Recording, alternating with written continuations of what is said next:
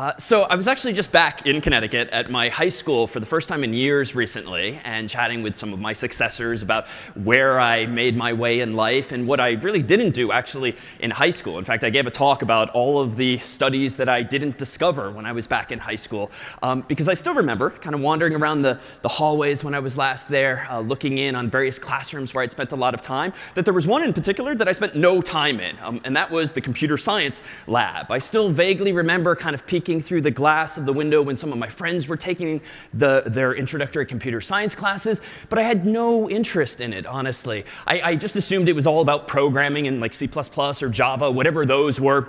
But it just didn't seem all that interesting to me. And anytime I did look in, all my friends had like their heads down, kind of typing away, doing whatever it was they were doing. And so I focused on like history and English and constitutional law was my favorite class in high school. And so when I got to Harvard some years later, I kind of just stuck with where I was comfortable. Um, I felt like, well, I hadn't studied CS in high school, so all the other students who are taking CS here surely have a leg up and know way more than me. So I figured out I kind of uh, thought of it too late. And there was this course, CS50, my first year here, and it, you know, it had this alluring reputation. There were a lot of students in it, but it really didn't seem like like it was for me. I wasn't really a computer person in that way, and I felt like I was behind. I, I didn't want to hurt my GPA by taking something so unfamiliar to me, and so I stayed within my comfort zone. And I took more history and government classes, and I sort of declared my major to be, or concentration, to be government. And it wasn't until sophomore year when I finally got up the nerve to, to shop, so to speak, sit in on a class before you officially register,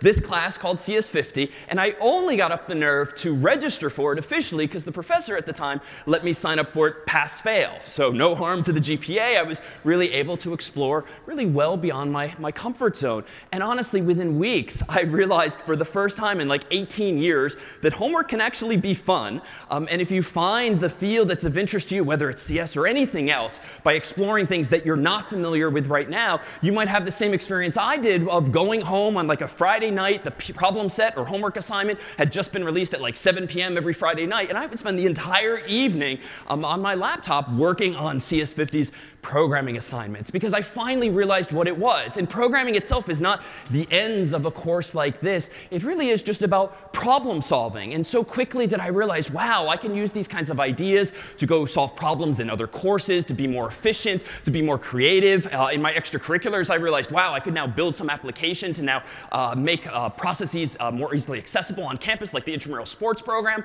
was I able to overhaul just with a little bit of computer science. And if we kind of distill today what took me all too long to discover, um, problem solving really is kind of a picture like this, where you have some inputs and the goal is to achieve some outputs. And that, in some sense, really is computer science. And programming and a lot of the particulars that you learn in the classroom are really just deeper dives into this very simple idea. But how do you get to that point of actually solving problems? Well, I eventually realized that you needed to do two things. One, you needed to represent these inputs and these outputs. That is, we just all have to agree how to do it. And then you actually have to do something with those inputs to get those outputs. And therein lies the, the problem solving. And so how do you go about representing information? Well, you know, I could represent information you know, all I need is some kind of input, right? And here's the power cord to my laptop. And honestly, even if you have no idea how your computer works, odds are you appreciate that this is pretty integral, having somehow electricity, some physical input come into the computer. And if you unplug it, it's off. If you plug it in, it's on. And batteries, of course, can persist this here too. But off and on maps really cleanly to what you all probably generally know to be true of computers, and that they only speak what language? know, binary, bi meaning two, mapping to this concept of off and on, or as a computer scientist would say, zero or one. Right? That's why we have zeros and ones at the end of the day, because the simplest thing to do electrically is to either turn the power on or turn the power off, one or zero. We could have called it A and B, but we call it one and zero. But if all you have in a computer is the ability to sort of turn it on or turn it off, or to store some value, kind of like a light switch goes on or off, how can you possibly do anything interesting or solve problems? Well, let's just consider like a simple a light bulb here, right? This has some power. It happens to have a battery. And if this thing is off, we'll just call it a 0. And if this thing is on, we'll call it a 1. So now we have a single switch, or what's known in computing as a transistor. In fact, inside of your computer are lots and lots, millions of transistors that just turn things on and off. Well, if I have just one of these, I can only do 0 or 1. That's not all that interesting. That would seem to give us two problems total to solve. So how can we count higher than just 0 or 1? Well, I might take two of these or three of these and maybe start doing things a little more methodically. So I could do 1, 2, 3. So now I can clearly count as high as 3. But that would seem to be it as well. But no, computers are a little smarter than that. And we can actually adopt patterns of on and off, right? So this now I'll claim is 0. All three of these light bulbs are off. Let me turn on this one on thereby representing what I'm going to call a 1. But you know what? Now I'm going to go ahead and claim that that's how a computer would store 2. It would turn a different light switch on, the second one. And you know what? If it turns the first one back on, this is how a computer stores a 3. And now just take a guess. If I do this, uncomfortably, what is the computer perhaps now storing? 4. This happens to be 6. This is now 7 why? Like, how did I choose those particular patterns? Well, it turns out this is something that all of us are probably really familiar with. If you think about our sort of grade school understanding of numbers, if I draw something on the screen, quite simply, like this pattern of symbols, 1, 2, 3. This is, of course, 123. But why? Because all of us just pretty instantaneously did the mental arithmetic of this being the ones place, this is the tens place, this is the hundreds place. And then what did you probably do in that split second? Well, you did like 100 times 1 plus 10 times 2 plus 1 times 3, which, of course, gives you 100 plus 20 plus 3, or 123. Now, that's a bit of a circular argument because that's kind of where I started. But now these symbols, these uh, curves on the screen, one, two, three, actually have now meaning that we've all agreed represents the human number 123. So computers are actually fundamentally the same thing, and in some sense, they're even simpler than us humans in the following way. If you have the same number of placeholders, and we write down, with great difficulty, if we write down, say, three places, or three light bulbs, if you will, but doing it now textually, and I write down, for instance, 0, 0, 0, you can probably guess that in the world of computers, if you've got three switches that are all off, this represents the number 0. And if I turn one of these light bulbs on, so to speak, this, of course, as before, is going to be the number that I called 1. Well, if I now do not just change this one, but change this to a 0, and this is where maybe my light bulb patterns got a little non-obvious, why is this 2? Well, it's the same mental arithmetic, but just with different places. A computer doesn't use powers of 10, so to speak, 10 to the 0, 10 to the 1, 10 to the 2, but powers of 2. So this is 2 to the 0, or the 1's place. This is 2 to the 1, or the 2's place. This is 2 to the 2, or the 4's place. And so you just need to turn these light bulbs on and off based on this kind of pattern to get whatever number it is you're interested in. So this is 2 because it's 4 times 0 plus 2 times 1 plus 1 times 0. Why is this 3 when I turned two light bulbs on earlier? The same reasoning. And what's the highest I can count with just three light bulbs or three zeros and ones? 7, just because you got a 4 plus a 2 plus a 1 and so forth. And what would happen then if I wanted to count as high as 8, would you think? Yeah, you need to add another place, or really you need more physical hardware. And this is why your computer can only count so high or store so much information. You need an additional light switch, or another transistor, if you will, to actually store additional information. So that then is binary. If you've just kind of known intuitively computers to only speak zeros and ones, why? Well, that's because they start with electricity as their physical input. We humans have just all agreed to represent values in this way using binary by just having these patterns of zeros and ones. But that pretty much makes for a very expensive calculator if all you have are numbers. So how do you get from numbers uh, and from electricity to now letters, say, of the alphabet? What could we do? How do we now enable spreadsheet programs and word processors and text messaging and email clients and the like? What can we all do if our only input is electricity or, in turn, zeros and ones? Say again? Yeah, we can just assign number values to letters. So you know what we could go ahead and do? And if we want to represent letters of the alphabet, as before, the only goal at hand is to just agree on how to represent that information. So let's pick a few letters of the alphabet, A, B, C, D, E, F, G, H, I. we could just say, you know what? Let's just agree to represent A as 1 and B as 2 and C as 3. Doesn't really matter so long as we all agree to do that. But it turns out some years ago, humans decided that A is actually going to be 65 and B is 66 and C is 67, 68, 69, 70, 71, 72, 73 and so forth. This is known as ASCII or Unicode. It's just a system that humans agreed decades ago shall be used by computers to represent letters of the alphabet just by storing numbers. And those numbers in turn are just the result of the computer turning little switches known as transistors on and off in these certain patterns. And let me, with a wave of a hand, assure that we can represent colors and sounds and videos in very similar ways, but we need to actually just agree on how to do this. So in fact, there's an opportunity here perhaps to, to write a message in exactly the same way that a computer could. Um, if you could humor me maybe with like eight volunteers. Could we get some eight volunteers up on stage? OK, one, two. Let me look a little harder. Three, uh, four. Can I go a little farther? I see no hands in the back. OK. There we go. Five, uh, six over there. I see someone pointing at someone else. Come on, seven. And let's go eight over here. Come on down. And I just need you to go ahead, if you could, and stand beneath these placeholders here on the slide, which I've gone ahead and rotated just so that they fit a little more visibly on the screen. Come on over. What's your name? Matt, come on over and stand under the 128. What's your name? Miro. David. David, nice to meet you. Hello. David, nice to meet you. and Anisha, David, and Monica, nice to meet you. And what was your name?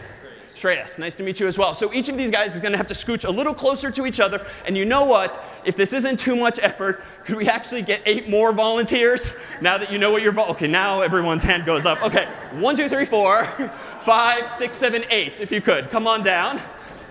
We'll do this round more quickly. And what you'll notice now that we have a byte's worth of volunteers here. What is a byte?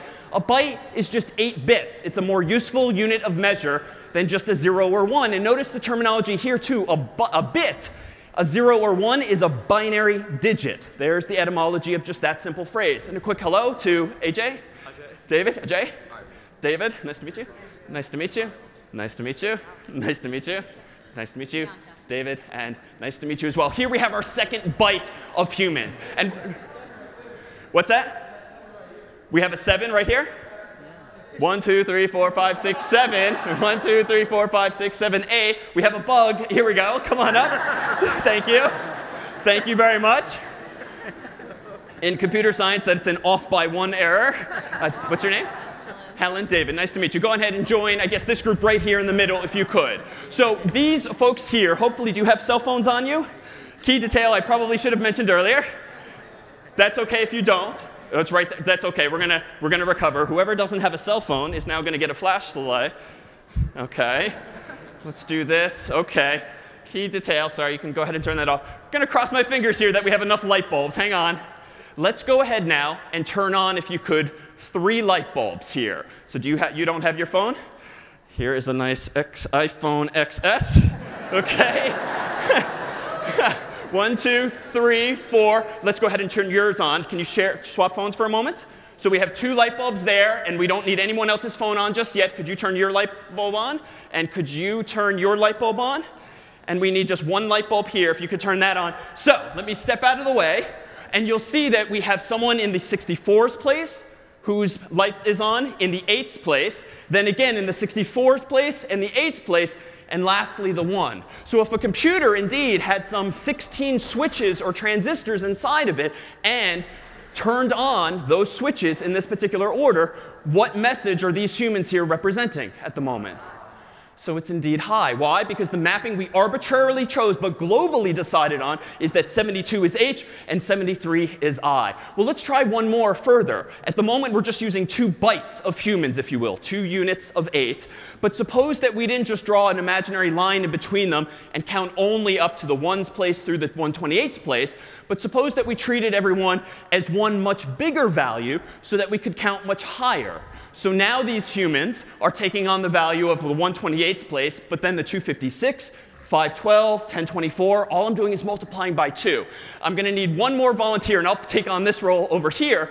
If I were to be uh, at the very end here, I now have 17 bits on stage 17 switches or transistors. Let me go ahead and turn on just some of these if we could. Most of them we might have to borrow a couple of phones. Let's go ahead and give, if you could turn your phone on here, your flashlight. Let me, uh, that's technically yours. Let Me, can we borrow your phone for a moment? OK, your phone is going over here to the 32,000th place. We need to turn yours on. OK, I'll turn mine on over there. So we need one, two. Can we give you three, four on? Can we borrow that? Three, four. Can we uh, keep the phones coming? three, four. So one, two, three, four. And then we skip one. And then we need you two to be on, if that's OK. And then over here, thankfully, we need just one light bulb on. So now it's your chance. If a computer were using this many bits, 16 bits, and if I stand in place now, 17 bits, where I represent 65,536, and our volunteers all the way on the end represents the number 1, and you do this math, what number are we all representing? OK, no one's going to get this right. It's 128,514. What might that message say? Well, there's not nearly enough clues in mine, but it's actually this.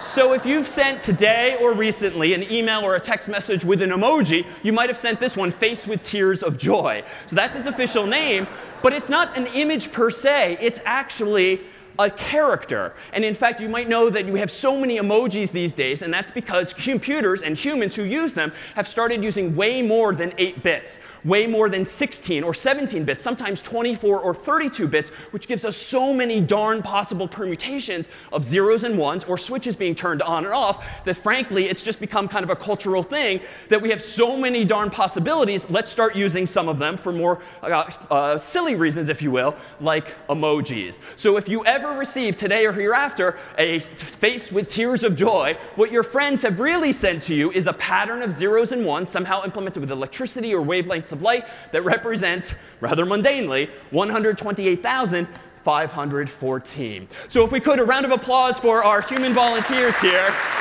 Let me borrow this. Thank you. If you'd like to step off stage, we have a little something for each of you. So we have just one last question to answer. Thank you all so much. We have just one other question to answer, which is if problem solving ultimately boils down to representing inputs and outputs, what is the process that we pass those inputs through in order to get those outputs? What is it you learn ultimately in a course on computer science?